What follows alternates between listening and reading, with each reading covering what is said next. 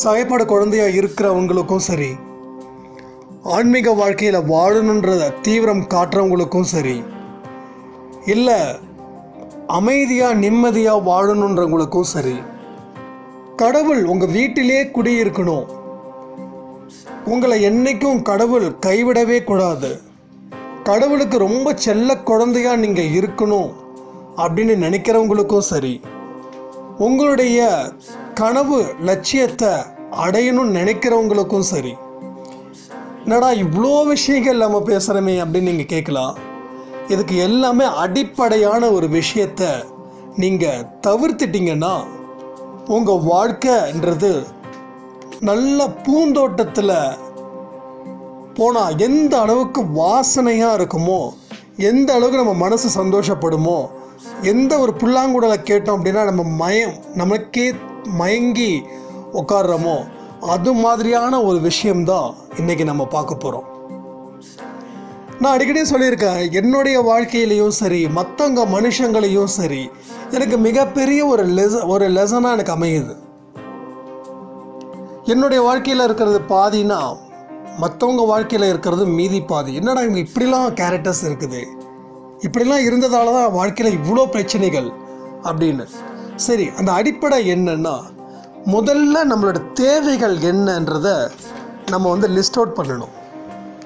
நம்ம தேவைகளை குறைச்சிக்கிட்டு வாழ்ந்தோம் அப்படின்னா அந்த வாழ்க்கையில் இருக்கக்கூடிய சந்தோஷம் நிம்மதி கடவுள் நம்ம காட்டக்கூடிய கடவுளுக்கு நம்ம மேலே இருக்கக்கூடிய அன்பு இது எல்லாமே பயங்கரமாக இருக்கும். எந்த ஒரு காலத்துலேயும் நம்ம எளிமையாக வாழ பழகணும். உங்களோட திறமைக்கு கிடைக்கக்கூடிய புகழை அதை வந்து பகட்டுக்காக யூஸ் பண்ணிடக்கூடாது. உங்களுக்கு ஒரு திறமைக்காக ஒரு புகழும் பணமும் கிடைக்குதுன்னா அந்த எளிமை எந்த அளவுக்கு இருக்கணுமோ அந்த அளவுக்கு எளிமையின் சிகரமாக நீங்கள் இருக்கணும்.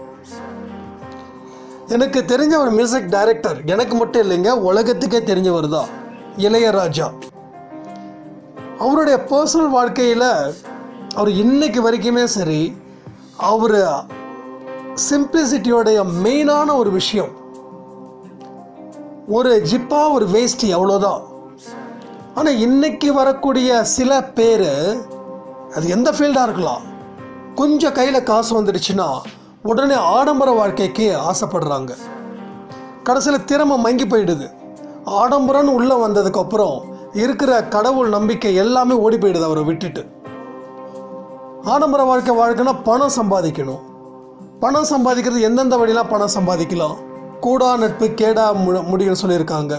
அது மாதிரியான விஷயங்களெல்லாம் ஈடுபட்டு இல்லை யாராவது ஒருத்தவங்க வந்து ஒரு ரூபாய்க்கு நான் பத்து ரூபா கொடுக்குறேன் பத்து ரூபாய்க்கு நான் இருபது ரூபா கொடுக்குறேன் இதில் நீங்கள் இன்வெஸ்ட்மெண்ட் பண்ணுங்கள் இதில் இவ்வளோ லாபம் இவ்வளோ நான் வட்டி கொடுக்குறேன்னு சொல்லி இருக்கிற பொண்டாட்டி தாலி செயின் எல்லாம் அடமானம் வச்சு எதுக்காகனா ஆடம்பர வாழ்க்கை வாடணுன்றதுக்காக. ஒரு பத்தாயிரம் வீட்டு வாடகையில் இருக்கும். ஒரு பதினோராயிரத்துக்கு போகலாம் இல்லை பன்னெண்டாயிரத்துக்கு போகலாம் இல்லையா ஒன்பதாயிரத்துக்கு போகலாம் எட்டாயிரத்துக்கு போகலாம் திடீர்னு ஒரு இருபதாயிரம் இருபத்தஞ்சாயிரத்துக்கு நம்ம போகணும்னு ஆசைப்பட்டோம் அப்படின்னா நம்ம இரு இருந்தால் கூட சொல்கிறேன் ஒரு அளவுக்கு பாசிபிலிட்டி இருக்குது. இருந்தாலும் நம்மளுடைய தேவைகள் என்னவோ தேவைகளுக்கு உண்டான அளவுக்கு நமக்கு வசதி இருக்குதா? வசதின்றது தேவைக்கான வசதி வசதியாக வாழ்கிறதுக்கு இல்லை. நம்மளுடைய கம்ஃபர்டபுள் எனக்கு இது போதும்.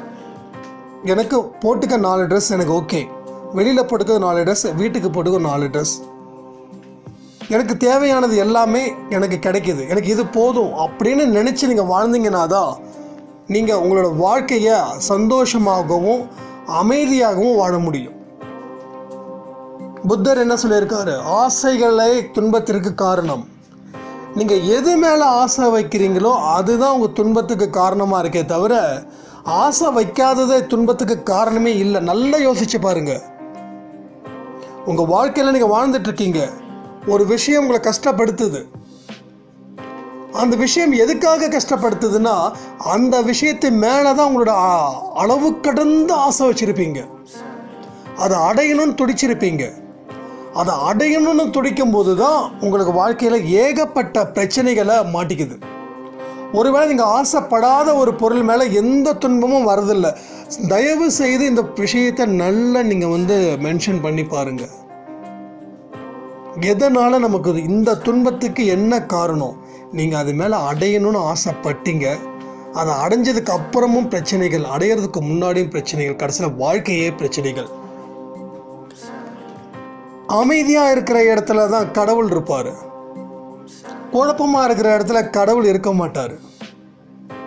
அப்போது நம்ம மனசு அமைதியாக இருக்க பழகிக்கிட்டால் நம்ம வாழ்க்கை வளமாக இருக்குன்றத நீங்கள் எல்லாரும் நம்புறீங்க. எனக்கு அமைதி இல்லை கஷ்டம்.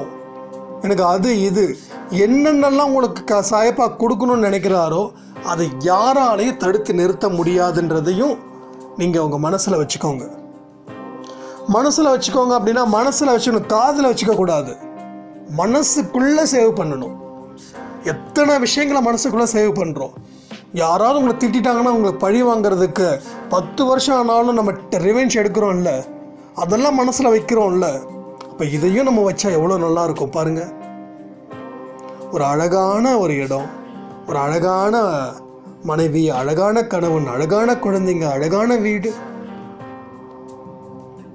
திட்டமிட்ட குடும்பம். தெவிட்டாத என்ன சொல்லுவாங்க சாரி பழமொழி தெரியல. இப்போ ஏன் நம்ம அந்த வாழ்க்கை வாழ்றது இல்லை அப்போ இயற்கை என்ன சொல்லுது? அமைதியாக வாழு. திறமையாக வாழு. வேற எதுக்கும் ஆசைப்படாத. உனக்கு என்ன வேணுமோ அது உனக்கு இயற்கையாக இயற்கையாகவே கொடுத்துருவாங்க. நம்ம வாழ்க்கையோட பாதையை மாற்றினா மட்டும்தான் நம்ம ஒரு மாற்றம் வருமே தவிர இதே வாழ்க்கையில் வாழ்ந்தால் மாற்றம் சத்தியமாக வராது. சாயப்பா நேரடியாக வீட்டுக்கு வந்து நேருக்கு நேராக உட்காந்தா கூட நீங்கள் மாறினா தான் வாழ்க்கை நடக்குமே தவிர நீங்கள் மாறாமல் எந்த ஒரு விஷயமும் நடக்காது. திரும்பி பாருங்கள் உங்கள் ஒவ்வொருத்தவங்களோட வாழ்க்கையையும் திரும்பி பாருங்கள் ஆயிரம் விஷயங்களை கற்றுக் கொடுத்துருக்கோம். ஆனால் நம்ம புத்தி ஏற்க மறுக்குது. ஏன்னா மனசு வேற ஒன்று நினைக்குது. கடைசியில் மனசு என்ன சொல்லுதோ அதையே புத்தி செய்யுது.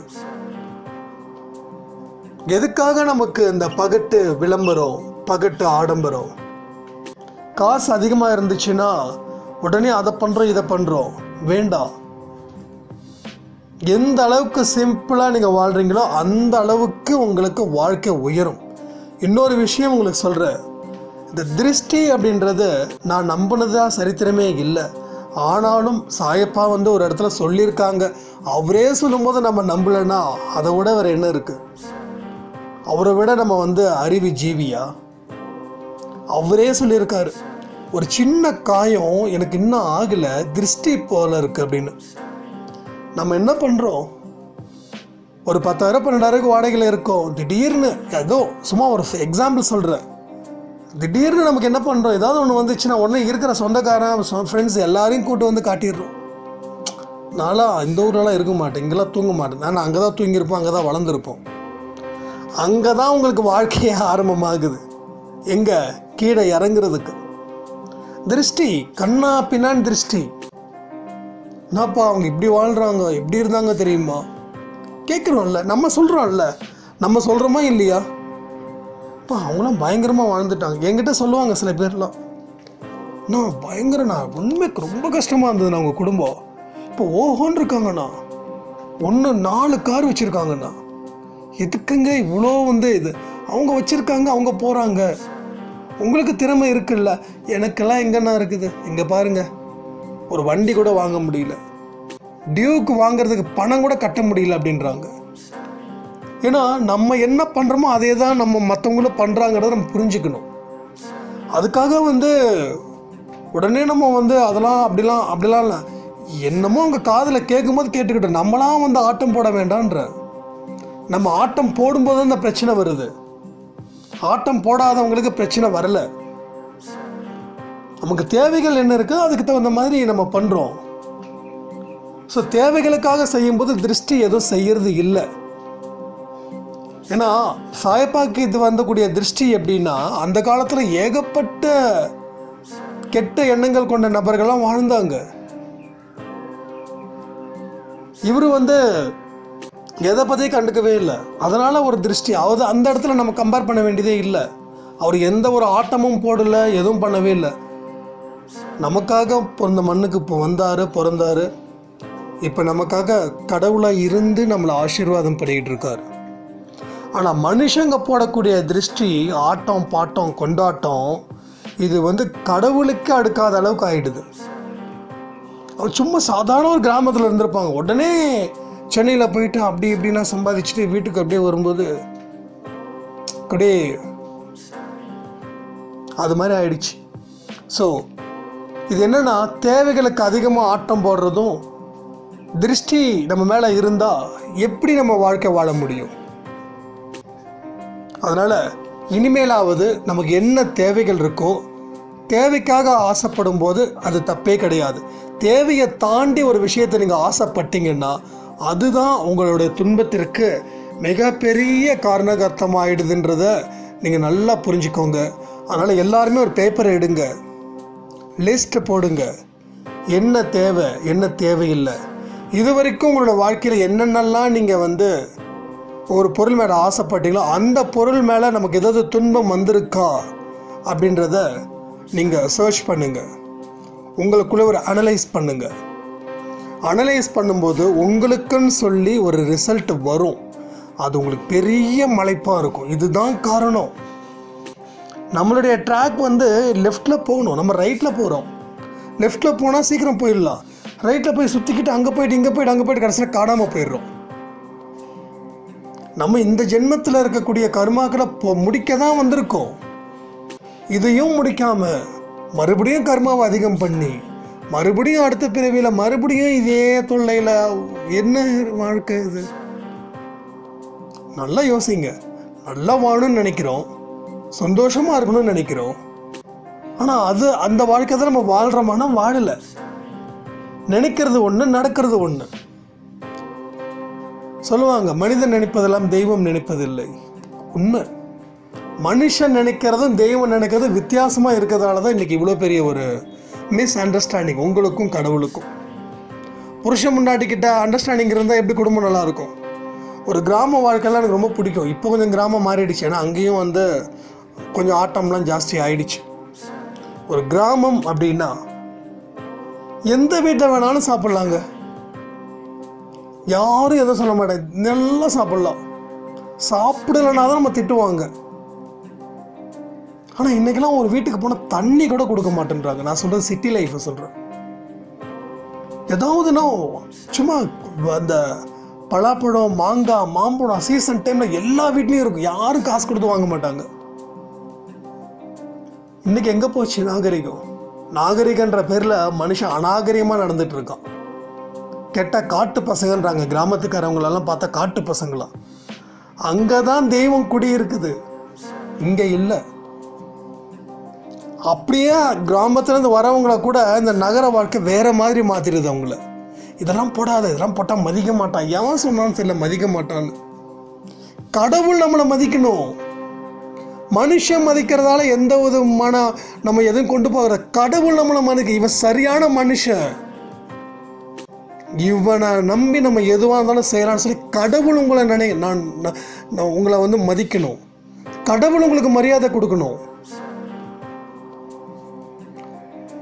நான் என்றைக்குமே ஒரு விஷயத்தை நான் அவங்ககிட்ட ஒரு பெரிய ரகசியத்தை சொல்கிறேன் சாயப்பா என்னை மதிக்கணும் என்னை மரியாதை செலுத்தணும்னு நான் நினைப்பேன். இது தற்பெருமை கிடையாது. அந்த தகுதியை நான் வளர்த்துக்கணும்னு நினைப்பேன். இப்போ சாயப்பாவே வந்து நீ தாண்டா என் குழந்தைன்னு சொல்லும்போது மாலை போடும்போது நம்ம த- தோல்ல? அப்போ நம்ம ஜெயிச்சிட்டோம். இன்றைக்கி நிறைய சாய்ராம் சொல்கிறீங்கல்ல எனக்கு சாயப்பா மிராகல்ஸ் பண்ணுறாரு எனக்கு வந்து அப்ரிஷியேட் பண்ணாங்க அப்படின்னு. இதெல்லாம் என்னென்னா சாயப்பா உங்களை மதிக்கிறதால மனுஷங்க மூலமாக உங்களுக்கு அந்த மாலையும் பரிசும் புகழும் வருதே தவிர இதெல்லாம் புரிஞ்சுக்கோங்க. ஏன்னா மனுஷங்க அவ்வளோ சீக்கிரம் பாராட்ட மாட்டாங்க. மனுஷங்களுடைய ஒரே விஷயம் என்னன்னா அவனை அவன் கிடக்குறான். நான் போய் பாருன்னா அவனுக்கு கொம்பு சே- ஏறிடும். சாயப்பவங்களை மதிக்கிறதால அவங்களுக்கு அந்த அப்ரிஷியேஷன் கிடைக்குது. எனக்கு இதை நான் ஃபீல் பண்ணுறேன் என்னென்னா அன்பே சாய் சேனலில் நமக்கு மிகப்பெரிய ஒரு அப்ரிஷியேஷனே ஒன் இயரில் உண்மையிலே சொல்கிற தொடாத ஒரு புகழ் தொடாத ஒரு பெருமை. இது சாயப்பா எனக்கு கொடுத்தது. எனக்கு மரியாதை கொடுக்குறாரு. அதனால தான் என் வாழ்க்கை வந்து இன்னைக்கு என்னை ஒரு காலத்தில் என்னென்னமோ பேசுனாங்க. என்னென்னமோ இப்போ கூட சொன்னாங்க. பா என்னம்மா இப்படி பேசுகிற அப்படின்னு. ஆமாம் என்ன? ஒன்றும் இல்லை.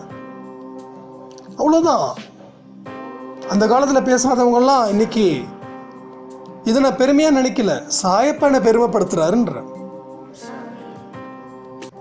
எப்படி இவங்கெல்லாம் வாழ்வான்லாம் சொன்னாங்க. பல வருஷத்துக்கு முன்னாடி. ஆனால் இன்றைக்கி நல்லா வாழ்ந்துட்டுருக்கோம். அப்போ ஒவ்வொருத்தவங்களுக்கும் ஏன்னா எல்லாருமே வந்து ஒரே மாதிரியான மனுஷங்க தான். எனக்கு இருக்கிற பெயினை நான் உங்களுக்கு உங்களுக்கு இருக்கிற பெயினை என்னால் ஃபீல் பண்ண முடியும். ஏன்னா அந்த பெயினில் இருந்து வந்தவன் தான் நானும்.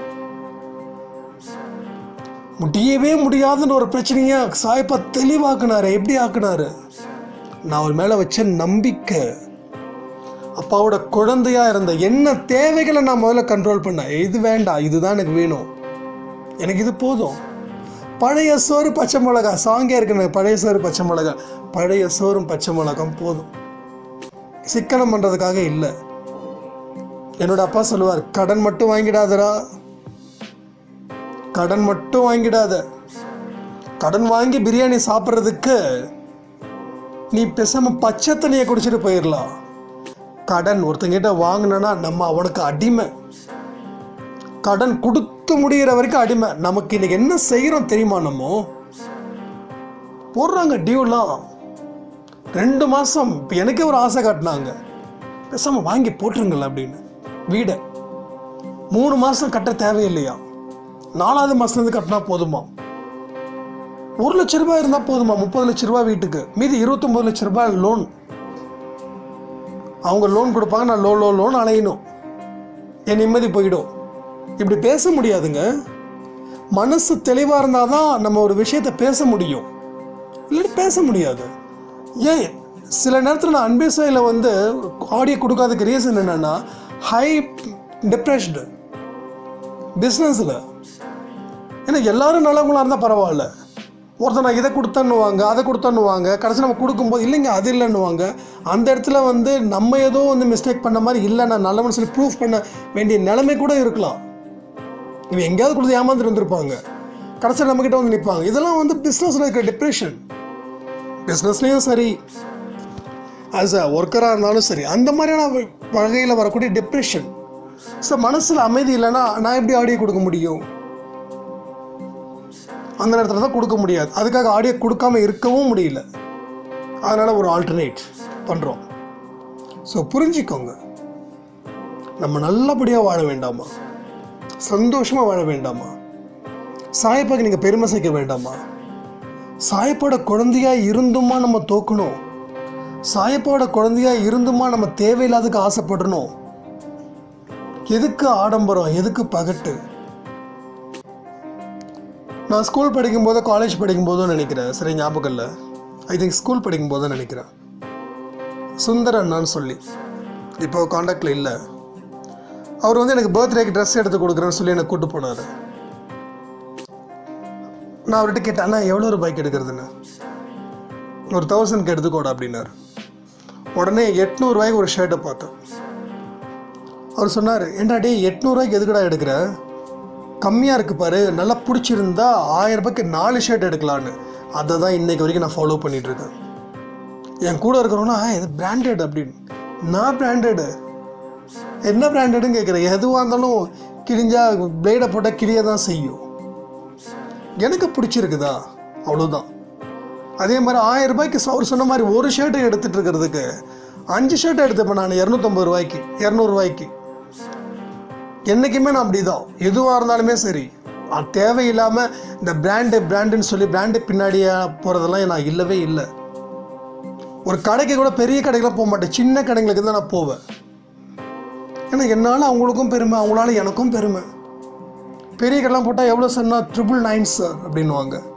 இல்லாட்டி thousand nine ninety nine only சார்னுவாங்க no bargaining ஆனால் சில கடைக்கு நான் போவேன் சின்ன கடைங்களுக்கு. சார் என்ன சார் ஓகேங்க எடுங்க. நம்ம கேட்காமலே பார்கெயின் பண்ணுவோம். கொடுப்பாங்க. சில இடத்துல நான் கேட்பேன். ஏன்னா சில இடத்துல ஏமாத்துற மாதிரி தெரியும் நமக்கு. அப்போ வந்து என்னுடைய தேவைகளை என்னுடைய கண்ட்ரோலில் வச்சுருக்க. என்னுடைய தேவைகள்லாம் என்னோடய கண்ட்ரோல் இல்லாமல் நம்ம வளர்த்துக்கிட்டு இருக்கிறதால தான் பிரச்சனையே. எனக்கு பொருள் மேலேயோ ப ஒரு நபர்கள் மேலேயோ பிரச்சனை வந்ததில்லை. ஏன்னா யார் மேலேயும் நான் ஆசைப்படலை. ஏன் மேலேயே நான் ஆசைப்படலை. இந்த நிமிஷம் நம்ம உயிர் இருக்கு. அடுத்த நிமிஷம் இல்லைன்னா கடவுளுக்கு நன்றி சொல்லிட்டு போய்கிட்டே இருக்கணும். ஏன்னா யாருடைய ஆயுட்காலம் யாருக்குன்றது நம்ம படைச்ச கடவுளுக்கு மட்டும்தான் தெரியும். வாழ்க்கைன்றது இவ்வளோதாங்க தேவைகளை குறைச்சோம் சந்தோஷமாக வாழலாம். கடவுள் நம்ம கூடவே இருப்பாங்க. நம்ம வீட்டுக்குள்ளே இருப்பார். நம்மளை விட்டுட்டு எங்கேயும் போக மாட்டார். தேவைகளை பெருக்கணும் அப்படின்னா நம்மளே நம்ம வந்து காணாமல் போயிடுவோம். அடுத்தவன் தேவைக்காக நம்மளை யூஸ் பண்ணுற மாதிரி நீங்கள் நிறைய மக்கள் பண்ணுறாங்கன்னா அதுக்கு காரணம் தேவைகள்ன்றது உங்களோட கண்ட்ரோல் இல்லாமல் கண்ட்ரோலை லிமிட்டை மீறி போயிடுச்சு இன்றைக்கி வரக்கூடிய காலங்கள் வந்து நல்லதும் எந்த அளவுக்கு இருக்குமோ அந்தளவுக்கு கெட்டதும் இருக்கும்.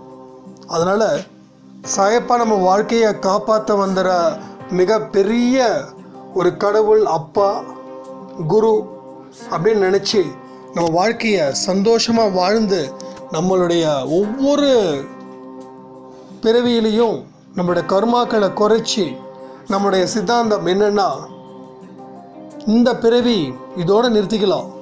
அடுத்த பிறவியை வந்து செய்கிறதுக்கு எந்த பாவமும் பண்ணக்கூடாது. பாவம் பண்ணாதான் அடுத்த பிறவி. பாவம் பண்ணக்கூடாதுன்னு நினச்சி நம்ம வாழ்ந்தோம் அப்படின்னா சில பிறவியிலே நம்மளுடைய ஆயுசு முடிஞ்சிடும் அடுத்த பிறவி நமக்கு டெஃபினட்டாக இருக்கிறதுக்கு வாய்ப்பே கிடையாது. ஊர் என்ன சொல்லுது நாடு என்ன சொல்லுது கேட்குறதுக்கு பதிலாக ஓ மனசு என்ன சொல்லுது நம்ம மனசு என்ன சொல்லுது எது சரின்னு படுது அதை நம்ம செய்வோம். தனி மனித ஒழுக்கம் இங்கே ரொம்ப இம்பார்ட்டன்ட் தனி மனித ஒழுக்கம் கடைபிடிக்கிறவங்களுடைய தேவைகள் கம்மியாக தான் இருக்கும்.